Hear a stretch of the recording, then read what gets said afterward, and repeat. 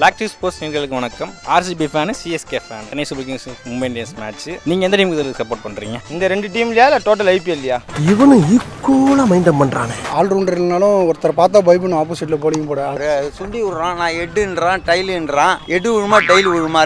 RCB ஃபேனா bro ஐயோ நான் என்ன பண்ணுவேன்? இல்ல சொல்லுங்க ப்ரோ நீங்க எப்படி சார் இந்த வருஷமாக கப்பு எங்களுக்கு தான் சார். மூணு விக்கெட்டு மூணு நாலு ரன்ல போகும்போது கொஞ்சம் கஷ்டமாக தான் இருக்கும் ஐபிஎல் ரசிகர்களின் குரலாய் உங்களை தேடி வருகிறது பிளாக் ஷீப் ஸ்போர்ட்ஸின் ரசிகன் வாய்ஸ் காணத் தவறாதீர்கள் ஜெயனில் லேடிஸ் அண்ட் ஜென்டில்மேன் இந்த பிளாக் ஷீப் ஸ்போர்ட்ஸோட ரெண்டாயிரத்தி இருபத்தி ஒன்று ஐபிஎலோட பாய்ஸ் ஆர் பேக்கில் இப்போ குவாலிஃபயருக்குள்ளே வந்துட்டோம். எஸ் குவாலிஃபயர் ஒன் துபாயில் நடக்கக்கூடிய Chennai Super Kings versus Delhi Capitals மேட்சோட so pre analysis and preview இது and qualifier and Chennai Super Kings ரெண்டாயிரத்தி இருபது தவிர அவங்க ஆடின எல்லா ஐபிஎல்லையும் வந்து பார்த்தீங்கன்னா குவாலிஃபயருக்குள்ளேயோ ஸோ தாராளமாக வந்துடுவாங்க அண்ட் செமிஸுக்கு வந்துடுவாங்க அண்ட் அதே போல். அண்ட் இப்போ டெல்லி கேபிட்டல்ஸ் கன்சிஸ்டண்ட்டாக ஸோ பிளே ஆஃப்ஸுக்குள்ளே வந்துக்கிட்டு இருக்கிறாங்க. And last time so runner up but இந்த தடவை அவங்க runner அப்பாக last time Chennai Super Kings டேபிளோட கடைசியில் முடித்தாங்க முதல் அணியாக வெளியேறினாங்க. இந்த தடவை சாம்பியனோட முடிப்பாங்களா? அண்ட் இது ஆல்மோஸ்ட் ஒரு கடைசி வருஷம் ததா தோனி அவர்களுக்கும் சாம்பியன் அனுப்பி வைப்பாங்களா? முக்கியமான மேட்ச் அண்ட் இந்த மேட்சை பொறுத்த வரைக்கும் நிறைய விஷயங்கள் பேச போகிறோம் யார் ஜெயிப்பாங்க? என்ன நடக்க போகுது? இன்ட்ரெஸ்டிங்கான ஒரு ப்ரீ அனாலிஸாக இருக்கும் நான் நம்புகிறேன் அண்ட் மறக்காமல் நீங்கள் யார் ஜெயிப்பாங்க? யார் ஃபைனல்ஸுக்கு போவாங்க? அப்படிங்கிறதையும் கீழே வந்து கமெண்ட் பண்ணுங்கள் அண்ட் நம்ம ப்ரீ அனாலிசிஸ்க்குள்ளே போகலாம்.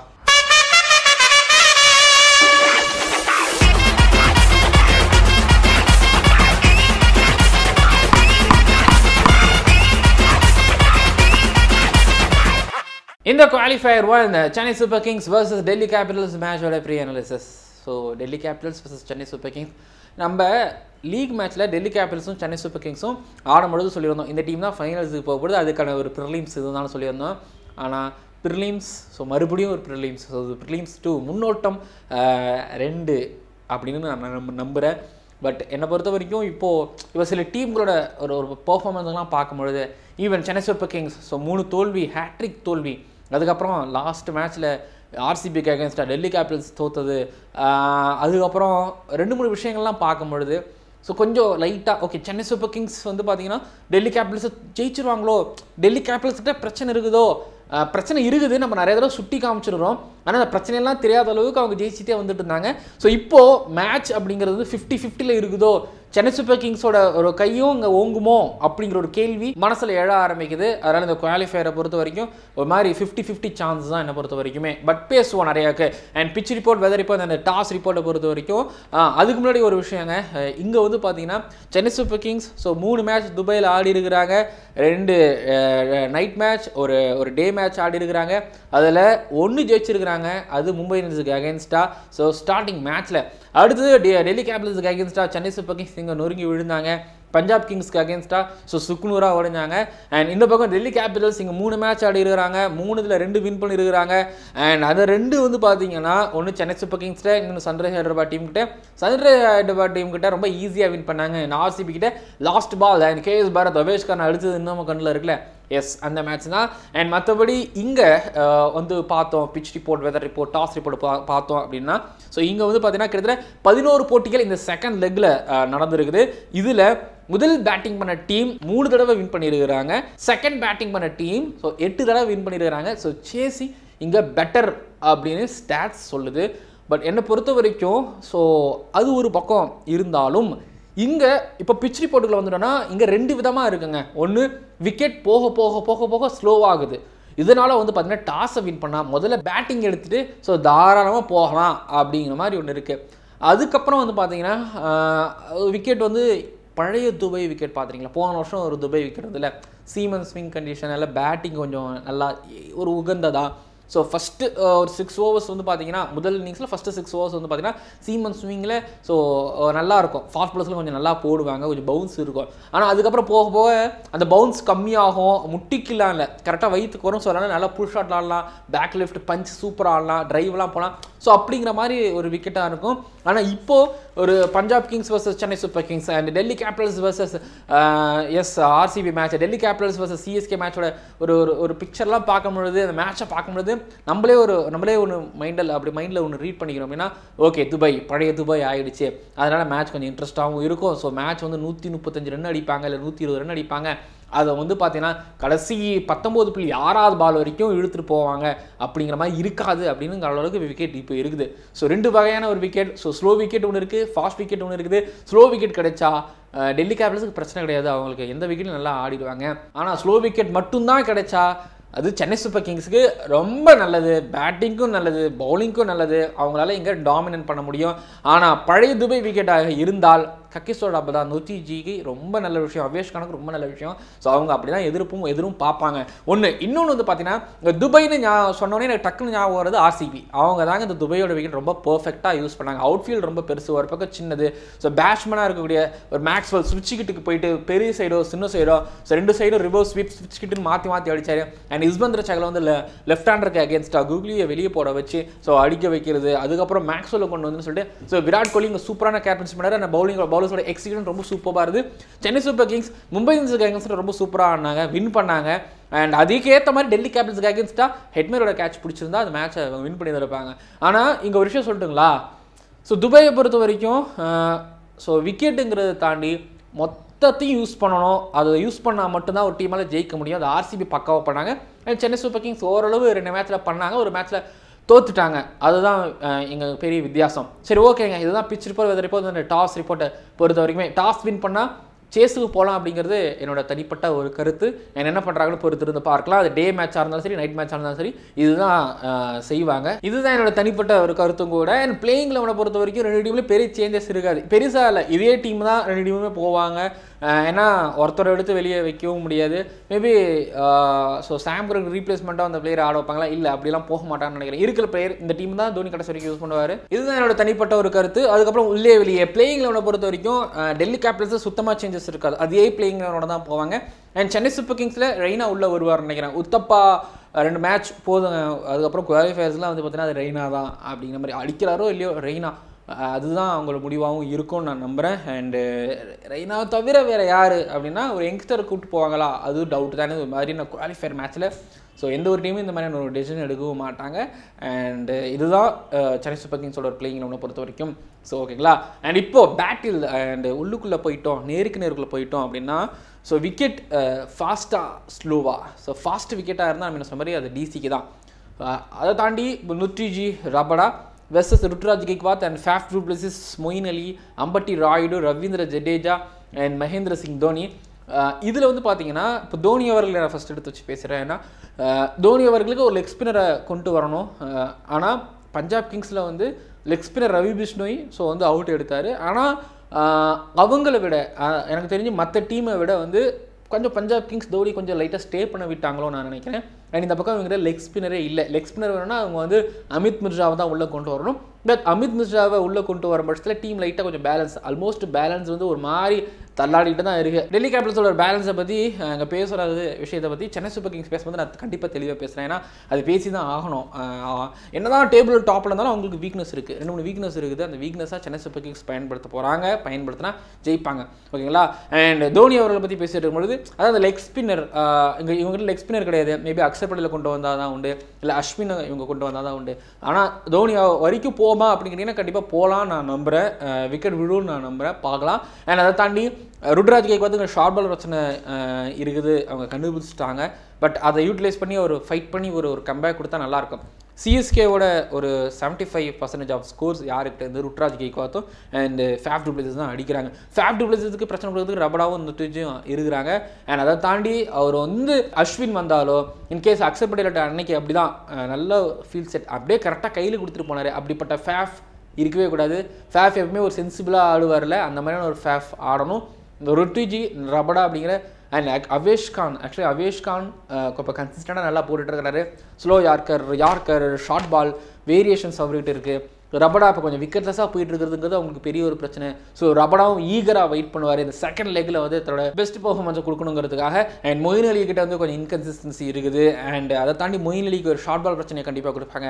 அண்ட் ஜடேஜாவுக்கு ஷார்ட் பால் பிரச்சனை இருக்குது. அந்த ஷார்ட் பால் பிரச்சனையை வந்து ஊடுருவி கண்டிப்பாக அதை அதை தட்டி பார்க்கணும்னு நினைப்பாங்க. அண்ட் ரெய்னாக்கும் ஷார்ட் பால் பிரச்சனை இருக்குது. ஸோ எப்படி பார்த்தாலும் இங்கே அவங்களோட பவுலிங் ரொம்ப ஸ்ட்ராங்காக இருக்குது அப்படிங்கிறதுல வந்து நாங்கள் ஸ்ட்ராங்காக சொல்லி தான் ஆகணும் ஓகேங்களா அன்றைக்கி டெல்லி கேபிட்டல்ஸ் வர்சஸ் ஆர்சிபி மேட்ச்சில் வந்து ஆர்சிபி அவங்கள்ட்ட காட்டிட்டாங்க. என்ன காட்டினாங்கன்னா அவங்க ரபடாவை அடிக்க ஆரம்பிச்சுங்கிறத தாண்டி அஸ்வின் அடிக்க ஆரம்பிச்சிட்டாங்க. ஆக்சுவலி இங்கே அந்த பிரச்சனை தான் எக்ஸ்ட்ரா பவுலர் கிடையாது இப்போது ரபரா நாலு ஓவர் போடுவார் நொட்ரிஜ் நாலு ஓவர் போடுவார் அவேஷ்கா நாலு ஓவர் போடுவார் அடுத்து அக்சர் படேல் நாலு ஓவர் போடுவார் அஸ்வின் நாலு ஓவர் போடுவார். ஸோ யார் யார் அடித்தாலுமே வந்து பவுலரில் பெரிய மாற்ற முடியாது. அதான் ரிஷப் பண்ட்டுக்கு இருக்கும் மிகப்பெரிய ஒரு பிரச்சனை. எக்ஸ்ட்ரா பவுலர் இல்லை. இந்த அஞ்சு பேர் கரெக்டாக போட்டுருந்தாங்கன்னா டெல்லி கேபிள்ஸுக்கு லாபம். ஒருத்தவங்க அடிச்சிட்டாலும் அப்படின்னா கண்டிப்பாக அவங்க பின்னாடி வந்து அடி வாங்கி தான் ஆகணும் இல்லை அவங்க ஒரு கம்பேக் கொடுத்தாகணும் ஸோ அந்த நெருக்கடியில் தான் இருக்காங்க. ப்ரெஷரில் வந்து இப்போது இப்போ அஸ்வின் நல்லா பவுலிங் போட்டுட்டாரு அப்படின்னா ஓகே ஆனால் எங்கள் விக்கெட்டில் பெருசாக திரும்பலை அப்படின்னா அஸ்வினில் ட்ரிஃப்ட் பண்ணாலும் பால் திரும்பலை அப்படின்னா ஸோ அழிச்சிட்டாங்கன்னா அதுதான். அதுதான் இங்கே சென்னை சூப்பர் கிங்ஸ் இருக்கக்கூடிய மிகப்பெரிய ஒரு வாய்ப்பு. அன்னைக்கு ஆர்சிபி அதை பக்காவாக காமிச்சிட்டாங்க. அவேஷ் கான் டெத் ஓவரில் யார்கர் போடுவார்? அண்டு சில விஷயம் இருக்குது இப்போது டிசி வர்சஸ் சிஎஸ்கே மேட்ச்சில் இருக்குல்ல. அதுக்கப்புறம் டிசி வர்சஸ் ஆர்சிபி மேட்ச் இருக்குல்ல. ஸோ அதில் சில பல விஷயங்கள் நம்மளுக்கு தெரிய வந்து அந்த விஷயத்தை அந்த விஷயத்தினால தான் அவங்க லாஸ்ட் டைம் அவங்க தோக்கம் செஞ்சாங்க. ஸோ அதை பின்னாடி பேசுவோம். ஸோ சென்னை சூப்பர் கிங்ஸ்க்கு டஃப் கொடுக்கக்கூடிய நல்ல ஒரு பவுலிங் அட்டாக் இவங்க வச்சிருக்கிறாங்க. ஆனால் லீக் பண்ணுற அளவுக்கு ரன்கள் கொடுக்கக்கூடிய சில பவுலர்ஸும் இருக்கிறாங்க. ஸோ அதை யூட்டிலைஸ் பண்ணி வரணும் டெல்லி கேபிட்டல்ஸ் அண்ட் அதை ஃபைட் பண்ணி ஆர் சிஎஸ்கே uh, பண்ணணும். ஒரு பக்கம். இந்த பக்கம் சென்னை சூப்பர் கிங்ஸோட பவுலிங் அட்டாக் வர்சஸ் டெல்லி கேபிட்டல்ஸோட ஒரு பேட்டிங் அட்டாக் எண்டது எப்படியோங்க? தோனியோட கேப்டன்சி எல்லாரையும் இங்கே கில் பண்ணிடும் எப்போவுமே சொல்கிறாங்க இந்த சீசனில் தோனியால் பேட்டிங் சரியாக பண்ண முடியல அப்படின்னாலுமே கேப்டன்சி அது நின்று பேசுது. அன்றைக்கி டிசி வர்சஸ் சிஎஸ்கே மேட்ச்சில் உங்களுக்கு விஷயம் தெரிஞ்சுன்னு நினைக்கிறேன். நான் சொல்கிறேங்க அன்னைக்கு ஆறு பாலுக்கு ஆறு ரன்னு ஹெட்மேர் இல்லை அப்படின்னா கண்டிப்பாக அந்த மேட்சை சென்னை சூப்பர் கிங்ஸ் வின் பண்ணியிருந்திருப்பாங்க. ஏன்னா தோனியோட கேப்டன்சி அதுதான். நூற்றி முப்பத்தாறு தான் அடிக்கிறாங்க அப்படின்னாலுமே அது க்ளோஸாக கொண்டு போகிறாங்க க்ளோஸாக போய் தான் அன்றைக்கி அவங்க தோகுறாங்க அன்றைக்கி டே மேட்ச்சில் அன்றைக்கி கேஎல் ராகுல் ஏன் எதுவும் பண்ண முடியல? அதான் நான் நீங்கள் சொன்னல அது டே மேட்ச்சுங்கிறத தாண்டி இதை சமாளிக்கிறது டிஃபெண்ட் பண்ணுறதுக்கோ சமாளிக்கிறதுக்கும் நான் சொல்லலை. அப்படி ஒரு பேட்ஸ்மேன் இருக்கும்போது அவங்களுக்கு அகேன்ஸ்டாக எதுவுமே பண்ண முடியாது. எந்த பிளானும் பண்ண முடியாது. ஆனால் இங்கே டிசிக்கு இருக்கக்கூடிய பெரிய பிரச்சனைனா நாலுமே இந்தியன் பிளேயர்ஸ்கள் இதுவே இது வந்து இந்தியாவில் நடந்ததுன்னா ஓகே சொல்லலாம். ஆனால் இந்தியாவில் தோனி கிங்கு. யாரை என்ன பண்ணணும் அவருக்கு நல்லா தெரியும். இங்கே தவன் ஷா ஸ்ரேயாஸ் ஐயர் ரிஷப் பண்ட் வெர்சஸ் தோனியோட கேப்டன்சி வரும்பொழுது பிராவோட எக்ஸ்பீரியன்ஸ் ஜோஷ் ஆண்டோட எக்ஸ்பீரியன்ஸ் அதுக்கப்புறம் இங்கே ஷர்துல் தாக்கூர். ஸோ எக்ஸ்பீரியன்ஸ் சில பேர் கூட எக்ஸ்பீரியன்ஸ் போதில்ல சில பேர் நான் எக்ஸ்பீரியன்ஸ் போனேன் அப்படின்னா கண்டிப்பாக ஷாவை கண்டிப்பாக எப்படி எடுக்கணுங்கிறது தோனிக்கு தெரியும். தவனை எப்படி எடுக்கிறதுங்கிறது தோனி நல்லா தெரியும். ஸ்ரேயாஸ் ஐயர் எப்படி எடுக்கிறதுங்கிறது தோனிக்கு நல்லா தெரியும். பண்ட்டை எப்படி எடுக்கிறது நல்லா தெரியும். எப்படி எடுக்கிறது தெரியும் அப்படின்னா வீக்னஸ் சில வீக்னஸ்லாம் இருக்குது. ப்ரெஷர் ஹேண்ட்லிங்கிறது அவங்களுக்கு மிகப்பெரிய ஒரு பிரச்சனை. அன்னைக்கு அன்னைக்கு ஹெட்மேரே ஏன் கேட்ச் கொடுத்தாரு? ப்ரெஷர் ஹேண்ட்லிங் ப்ரெஷர் ஹேண்ட்லிங் ஒரு பால் வெயிட் பண்ணி ஆட ஆடணுங்கிறது அவங்களுக்கு அவங்களுக்கு தெரியாது. ஆனால் இங்கே பிராவோ லாஸ்ட் ஓவரில் வந்தால் அவரால் நல்லா ப்ரெஷரை ஹேண்டில் பண்ண முடியும். பதினெட்டாம் ஓவரில் வந்து அவரை நல்லா பண்ணவும் முடியும். ஸோ இது இதுதான் இதுதான் சென்னை சூப்பர் கிங்ஸ்க்கும் அவங்க டீமுக்கு இருக்கக்கூடிய மிகப்பெரிய ஒரு வித்தியாசம். ரிஷப் பண்ட்டுக்கு ஸ்கொயராக நிற்க வச்சு தாராளமாக எடுக்கலாம். இதை விட வைசாக்கில் Chennai Super Kings versus DC இதே டீம் தான். ஆனால் ஏன் தோத்தாங்க? அன்னைக்கு அன்னைக்கு வந்து பார்த்தீங்கன்னா எக்ஸ்பீரியன்ஸ் பேசிச்சு. ரிஷப் பண்ண அந்த வருஷம் சூப்பராக ஆடிட்டு இருந்தார். ஆனால் வைசாக் மேட்ச்சில் அன்னைக்கு ரிஷப் பண்ண கரெக்டாக ஸ்கொயரில் நிற்க வச்சு எடுத்தாங்க. ஷாக்கு ஜோஷ் ஆஷோட கண்டிப்பாக கொண்டு போவாங்க. அன்னைக்கு ஸ்விங் இருந்துச்சு. பழைய துபாய் மாதிரி இருந்து ஒருவேளை தோனி டாஸை ஃபஸ்ட்டு வின் பண்ணி ஸோ ஃபஸ்ட்டு பவுலிங் போடுறாரு அப்படின்னா செம்ம காம்படிஷன் இருக்குது தவனுக்கு ஸ்விங் இருந்தால் ஒன்றுமே பண்ண முடியாது. ஷாக்கு ஸ்விங் இருந்தால் கொஞ்சம் கஷ்டம். ஆனால் தவன் சென்னை சூப்பர் கிங்ஸ்க்கு அகேன்ஸ்ட் நல்லா அடிப்பாரெல்லாம் கிடையாது. சென்னை சூப்பர் கிங்ஸ்க்கு மட்டும் கிடையாது. அன்னைக்கு விக்கெட்டில் எதுவுமே இல்லை அப்படின்னா தவனால் ரொம்ப நல்லா ஆட முடியும். அதுதான் அவர்கிட்ட இருக்கக்கூடிய பெரிய குவாலிட்டி ஸோ விக்கெட் இல்லைங்கிறத தாண்டி ஷர்துல் தக்கரோட கண்ட்ரோல் நல்லா இருக்குங்க. அவர் அவரோட ஷார்ட் பால் அதுக்கப்புறம் அவரோட லெங்த் பால் அண்ட் லைட்டாக டீவியேட் பண்ணுறாரு ஸோ தரமாக லைன் லென்த்தை ஸ்ட்ராங்காக பிடிச்சி போகிறாரு ஒன்று அண்ட் அதை தாண்டி வந்து பார்த்தீங்கன்னா தீபக் சஹர் தீபக் சஹரை பொறுத்த வரைக்கும் ஸ்விங் இல்லைன்னா லாஸ்ட்டு ரெண்டு மூணு மேட்ச்சை விடுங்க. பட் ஆனால் அவங்களுக்கு ஸ்ட்ரென்த்னு ஒன்று இருக்குது இல்லை. எங்கள் ஸ்விங் இல்லைன்னா அந்த லென்த்துன்னு ஒன்று இருக்குது அடிக்க முடியாத லென்த்துன்னு இருக்குது ஸோ முட்டி பேடுக்கு ஆல்மோஸ்ட் அந்த தைக்கு அவரோட பால் வருது. ஸோ அதை பெரிய அளவில் யாராலையும் ப்ளே பண்ண முடியறதுல பார்க்க முடியுது. ஸோ ஓகே தீபக் சார் அடி வாங்கிட்டாரா? ஜோஷ் ஆண்ட்லூட்டும் ஷதுல் தக்கரும் நல்லா போடுறாங்க ஒரு பிரேக் த்ரூ வருது. ஸோ இப்போ அந்த பக்கம் ரிஷப் பண்ணிட்டு பேட்டிங் பண்ண வந்தால் ஸோ இங்கே ஆஃப் ஸ்பின்னராக மொயின் அலியை கொண்டு வருவாங்க. ஜடேஜா வருவார். ஸ்ரேயா சையர் மட்டும்தான் கொஞ்சம் ஒரு மாதிரி எந்த வலையிலையும் சிக்க மாட்டார். ஆனால் வலையில் சிக்க வைக்கலாம். ஆமாம் அவருக்கு ஸ்பின்னரை கொண்டு வந்து ஒரு மொயின் அலியை கொண்டு வந்து மொயின் அலி ஜடேஜா நான் ரெண்டு பேரும் தான் சொல்கிறேன் யாராச்சும் கொண்டு வந்து அவர் பார்த்தீங்கன்னா கொஞ்சம் நோ லுக் ஷாட் ஒன்று ஆடுவார். பார்க்க மாட்டார். அடிச்சுட்டு அந்த தலை கீழே போயிடும் சிக்ஸ் ஒன்று ஸ்டெப் அவுட் பண்ணி ஆடுவார்ல. ஸோ அது அங்கே அவங்க அங்கே துபைங்கிறது ரொம்ப பெருசுங்கிறதுனால ஸோ நிப்பாட்டி வச்சு எடுக்கலாம். ஸோ ஒன்றும் இல்லைங்க. முதல் நாலு விக்கெட்டில் முதல் நாலு விக்கெட் அதில் அதில் மூணு விக்கெட் உடச்சிட்டாங்க ரெண்டு விக்கெட் உடச்சிட்டாங்க. ஒரு பார்ட்னர்ஷிப் பில்டு பண்ண விடலை அப்படின்னா ப்ரெஷர் போட்டாங்க சென்னை சூப்பர் கிங்ஸ் அப்படின்னா மேட்சை ஜெயிக்கலாம். ஸோ எக்ஸ்பீரியன்ஸ் அந்த பக்கம் வந்து பார்த்தீங்கன்னா ரா பேஸ் ப்ளஸ் ஒரு இளமைய ஒரு துடிப்பான ரத்தங்கள் இருக்கிறாங்க ஸோ அதுதான் வித்தியாசமே. And daddy army versus young army so யார் ஜெயிப்பாங்க? என்னை பொறுத்த வரைக்கும் இங்கே எக்ஸ்பீரியன்ஸ் மீன் பண்ணணும்னு நான் நினைக்கிறேன் அந்த மேட்சை பொறுத்த வரைக்கும். ஸோ சென்னை சூப்பர் கிங்ஸ் ஐம்பத்தெண்டு பர்சன்டேஜ் சான்ஸ் இருக்கிறதா நான் பார்க்குறேன். காரணம் தோனியோட கேப்டன்சி ப்ளஸ் இங்கே பிராவோட experience and Josh Hazlewood and அவரோட பவுலிங் பர்ஃபார்மன்ஸ் அண்ட் ஜடேஜாவோட ஒரு கன்சிஸ்டண்டான ஒரு பவுலிங் அண்ட் மொயின் அலி தெரில யூஸ் பண்ணுவாங்களான்னு எனக்கு எனக்கு சரியாக தெரில பட் ஸ்டில் ரெய்னாவே வந்து மேபி ஒருத்த நாள் பவுலிங் போட்டாருன்னு தெரியல. வரலாம். ஸோ வந்து ட்ரை பண்ணி பார்க்கலாம். பார்க்கலாம் என்ன நடக்குது சொல்லிட்டு அந்த பக்கம் நொட்ரிஜி ரபடா இவங்களுக்கு சேலஞ்ச் கொடுப்பாங்களா? அண்ட் இருக்கக்கூடிய சின்ன சின்ன பிரச்சனைகளை வந்து சென்னை சூப்பர் கிங்ஸ் கரெக்டாக எவ்வளோ பெரிய டீமாக இருந்தாலும் அடிக்கலாங்க. பெரிய எக்ஸாம்பிள் சொல்கிறேன் ரெண்டாயிரத்தி பதினேழு champions trophy semifinal Pakistan versus England and England தான் அந்த சாம்பியன்ஸ் ட்ரோஃபி வின் பண்ணுவாங்கன்னு எல்லாரும் சொல்லிக்கிட்டு இருந்தாங்க. ஆல்மோஸ்ட் சாம்பியன்ஸ் ட்ரோஃபி வருது இங்கிலாண்டில் அப்படின்னோடனே இங்கிலாந்து தான் சொல்லிட்டு இருந்தாங்க. ஆனால் விக்கெட் ஸ்லோ ஆகி ஸோ பாகிஸ்தான் இங்கிலாந்து அடித்து ஓட விட்டாங்க. ஸோ அது அதுதான் வித்தியாசம். அன்னைக்கு அன்னைக்கு ஸோ அவங்க டீமில் இருக்கக்கூடிய பிரச்சனைகளை கொஞ்சம் தட்டி எழுப்பிட்டாங்கன்னா அவங்க அவங்க ஜெயிக்கலாம். ஸோ இங்கே நிறைய பிரச்சனை இருக்குது. ஒரு ஷார்ட் பால் பிரச்சனை இதெல்லாம் நிறையா இருக்குது சிஎஸ்கேவுக்கு இந்த பக்கம் வந்து பார்த்தீங்கன்னா ப்ரெஷர் ஹேண்ட்லிங்னு ஒன்று இருக்குது. ஸோ தோனி எப்பயுமே ஃபஸ்ட் பேட்டிங் எடுப்பார்னு நினைக்கிறேன் இந்த அண்ட் அண்ட் பார்க்கலாம். சேஸுக்கு போயிட்டாங்க டிசியை தள்ளிட்டாங்க அப்படின்னா விக்கெட் உடனே எடுக்கணும். ஸோ என்ன பண்ணுறாங்க பொறுத்திருந்து பார்க்கலாம். தோனியோட கேல்குலேஷன்ஸ் இங்கே எந்த அளவுக்கு ஒர்க் அவுட் ஆகுது? அண்ட் பாண்டிங் உட்காந்து அவரோட கேல்குலேஷன்ஸ் டக் அவுட்லேருந்து சொல்லி சொல்லி அனுப்புவார். அது எப்படி ஒர்க் அவுட் ஆகுதுங்கிறத பொறுத்திருந்து பார்க்கலாம். மறக்காமல் உங்களோட வின்னிங் பர்சன்டேஜ் கீழே வந்து கமெண்ட் பண்ணுங்கள் அண்டு அண்ட் சென்னை சூப்பர் கிங்ஸோட பேட்ஸ்மேன் ஸ்டே பண்ணணும் ஸ்டே பண்ணணும் ஸ்டே பண்ணி வெயிட் பண்ணி ஆடணும். ஒரு பவுலரை ரொட்டேஷனில் விடுறதுக்கு கண்டிப்பாக ரிஷப் பண்ட் பவர் பிளேயர் கண்டிப்பாக நாலு பவுலர் வச்சும் யூஸ் பண்ணுவார் மாற்றுவார் வெயிட் பண்ணி ஸ்பின்னர் வரும்பொழுது ஒரு அஸ்வின் வரும்பொழுது ஒரு ஒரு என்ன சொல்கிறது ஒரு அக்சர் வரும்பொழுது ஸோ ப்ராப்பராக ஹிட் பண்ணணும். ஸோ அல்மோ ஆல்மோஸ்ட் ஒரு ஒன் சிக்ஸ்டி போனாலே ஒரு டைட் பண்ணுற ஒரு மேட்ச் அது இருக்கும். சென்னை சூப்பர் கிங்ஸ் கண்டிப்பாக இங்கே வந்து பார்த்தீங்கன்னா ஒரு ஒன் சிக்ஸ்டி தாராளமாக அடிக்க அடிப்பாங்க. அண்ட் அதை சேஸ் பண்ண முடியுமாங்கிறது தான் கஷ்டம். ஆனால் ஃபஸ்ட் பேட்டிங் பண்ணிட்டாங்க அப்படின்னா டிசிக்கு அங்கே கொஞ்சம் ஈஸியாகவும் இருக்கும். ஸோ பார்க்கலாம் என்ன நடக்கும்னு சொல்லிட்டு எனக்கு மறக்காம பிளாக் ஷே ஸ்போர்ட்ஸ் யூடியூப் சேனல் சப்ஸ்கிரைப் பண்ணுங்க. பக்கத்தில் இருக்கிற பெல் ஐக்கன் கிளிக் பண்ணுங்க. அண்ட் நல்ல ஒரு குவாலிஃபயர் மேட்சாக அமையும் இந்த முதல் குவாலிஃபயர் போட்டி அப்படின்னு நான் நம்புகிறேன் அண்ட் நாளைக்கு இந்த மேட்சில் லைவ் மேட்ச் முடிஞ்ச உடனேயே ஸோ லைவ் இருக்கும். ஸோ மறக்காமல் லைவுக்கு வந்துடுங்க நிறைய விஷயங்கள் அங்கே பேசலாம்.